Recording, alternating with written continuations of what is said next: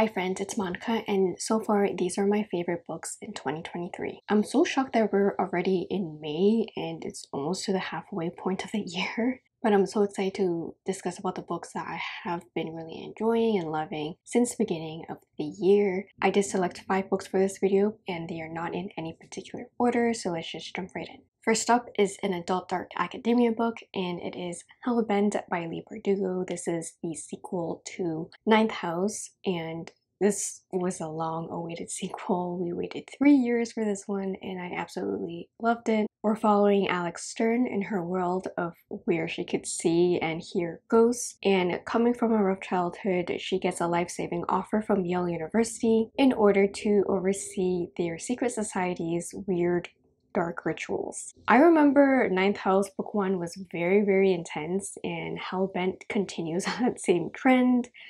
And I would say getting into Hell Bent as a second book in the series is a way more smoother journey compared to Ninth House. The world itself felt more solid and grounded and we see how Alex's abilities gives her a certain edge in this world and we also learn more about the different magics. Alex takes on more of a leadership role and she still is protecting all her dear friends to her. We have Dawes, who's like the mother hen and very smart scholar.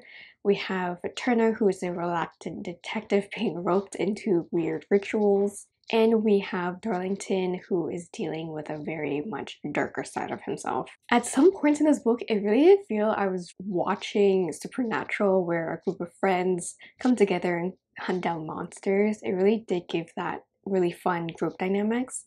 And I'm really interested to see where we go off from the end of Hell Bent and hopefully we don't have to wait too long for book three. Next up is an adult high fantasy book, and this world is quite vibrant and has a very unique magical system, and I'm talking about Warbreaker by Brandon Sanderson. This is one that I recently just read, but it really blew my expectations out the water. In this world, God's rule and magic is deeply integrated into its society. There's also this concept known as breath, which is essentially a person's soul or life force. People can collect other people's breaths in order to gain power. Admittedly, there's also use of colors and a lot of other factors go into this magical system, but by the end of the book, I got the hang of it.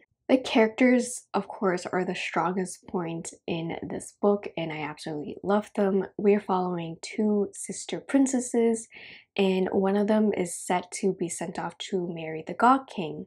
But a last minute decision changes which sister is sent off. Siri and Vivenna are complete opposites, and I really liked seeing them learn to assert themselves in new situations and having their personalities kind of switch by the end of the book, and it was nice to see their journeys. I also loved Lightsong, who is a reluctant god and who questions his divinity, and Vasher, who is a mysterious, lonesome figure with a talking magical sword. By the end of this book, you really do see the connections to the other Cosmere books, other Brandon Sanderson books, and to his other worlds and it's really nice to have those easter eggs and to have those puzzle pieces click in place into your mind and it's very satisfying but i'm very excited to see where other Brandon Sanderson books will go on from here. Then I enjoyed a adult rom-com and this was Happy Place by Emily Henry.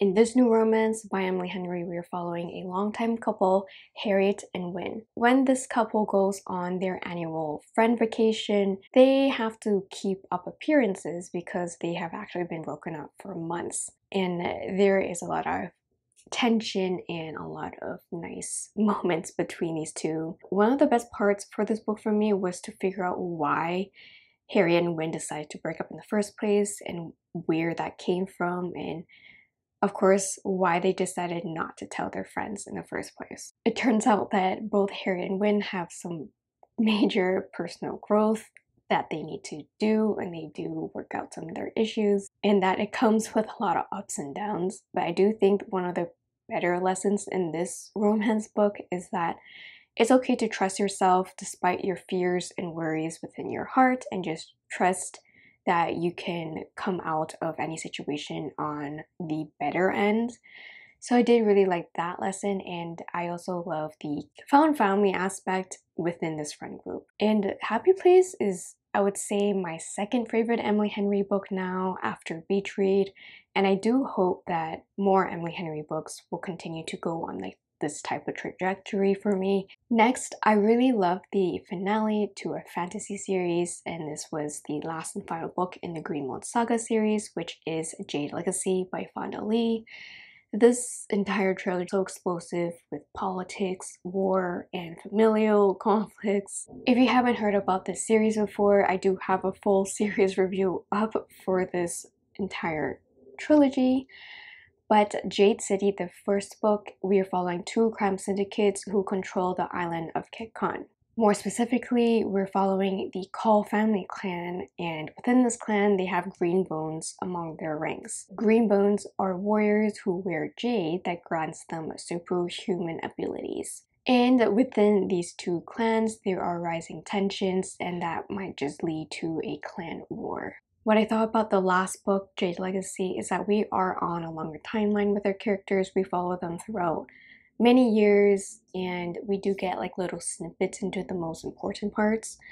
With that, I did enjoy seeing how our characters' journeys end, but I was hoping that we could have gotten more fleshing out of certain important events that we do get glimpses into. I also really love the exploration of what it actually means to be green bone within the clan and also in the wider world. And I love the emphasis on seeking valuable lessons that can only be learned when you go out into the world on your own and see for yourself because it's different when someone tells you about something and then compared to how you yourself can experience whatever Ultimately, it was a very, very satisfying conclusion, but very bittersweet because I love this world and the characters so much. The next two books, I'm kind of cheating here, but they're both part of the same series, the Stormlight Archive series by Brandon Sanderson. I read book two, Words of Radiance, and book three, Oathbringer, since the beginning of this year, and I absolutely love both of them.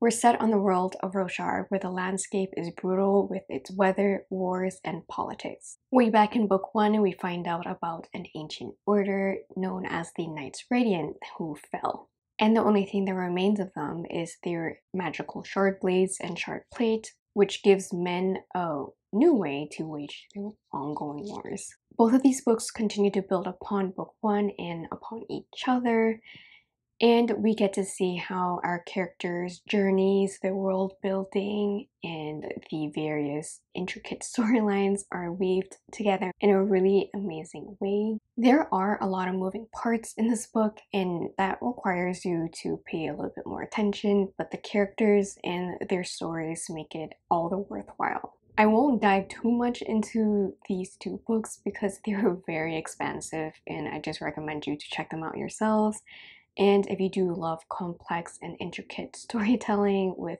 amazing characters, I truly recommend you to pick up The Way of Kings, the first book in the series. And I can't wait to tackle Rhythm of War ASAP. Those were all the books that I loved this year, and I'm quite sure that I will continue to find books that I love, and hopefully I do.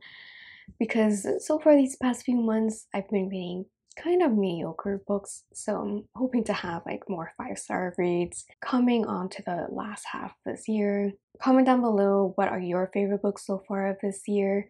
And I also do want to say thank you so much for stopping by and I hope you can give me a huge thumbs up, hit that subscribe button down below, and don't forget to ring the notification bell to not miss any future uploads, and I'll see you all in my next one. Bye.